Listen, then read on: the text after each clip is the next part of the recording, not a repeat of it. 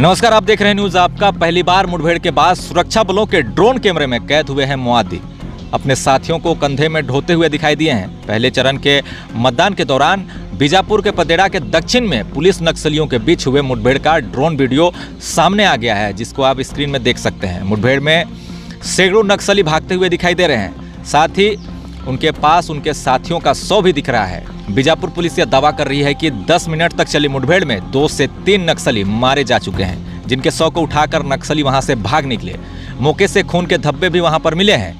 मिली जानकारी के अनुसार सीआरपीएफ, डी और ई कंपनी के कंपनी कमांडर अंशुल सूर्यवंशी और सुनील कुमार सहायक कमांडेंट के नेतृत्व में केरी पुबल पचासी बटालियन ने बहादुरी से लड़ते हुए नक्सलियों को खदेड़ दिया। इस मुठभेड़ में जवानों ने तीन से ज़्यादा नक्सलियों को मार गिराया गया है। ऐसा दावा किया जा रहा है। ड्रोन से आई तस्वीरों में साफ़ साफ़ दिखाई दे रहा है कि लगभग 100 से 120 वर्दी और हथियारधारी नक्सली भागते हुए तीन से चार डेड बॉडी लटका कर ले जाते हुए नज़र आ रहे हैं। बताया जा रहा है कि सुरक्षा बलों के इंतज़ार में सैकड़ों नक्सली जंगलों में घात लगाकर बैठे थे, मगर जिस जगह पर नक्सली भारी संख्या में थे, वहाँ सुरक्षा बल नहीं गुजरे, जिसके वजह से सुरक्षा बलों को जो है भारी नुकसान नहीं हुआ और वह बच गए। आपको एक पुरानी वीडियो दिखाना चाहूँगा, जिसमें मुआदियों द्वारा सेना के ड्रोन को मार गिराया गया था। उसके बाद मुआदी द्वारा वीडियो जारी कर क्या कहा गया था, देखिए आप। उन्नीस तारीख रात रात में तीन बजे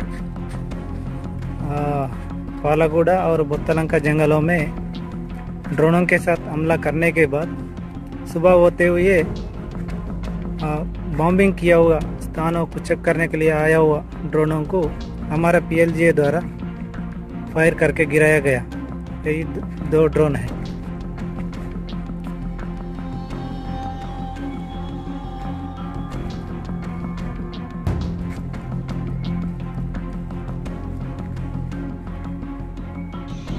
आपको बता दें कि कोल्हान के जंगलों में भी मुआदियों के गतिविधियों को देखने के लिए ड्रोन का इस्तेमाल किया जा रहा था और ड्रोन से रात में भी निगरानी की जा रही थी, मगर कोल्हान में ड्रोन से निगरानी उतना कारगर साबित नहीं हुआ, लेकिन लगातार भारतीय सेना भी ड्रोन का अब जो है इस्तेमाल कर रहे हैं।